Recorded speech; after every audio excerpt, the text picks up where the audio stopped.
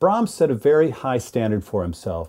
His music contains no extraneous notes, no unnecessary runs made simply for aural effect. Every note was carefully considered and essential to the overall work.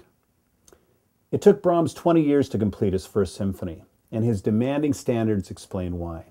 The third symphony opens with a consonant chord followed by a great dissonance, setting the foundation for a piece of incredible harmonic and rhythmic tension.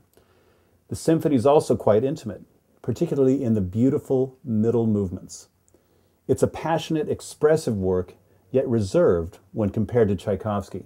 While the Russian's music is very overt, Brahms's expression is subtle and nuanced.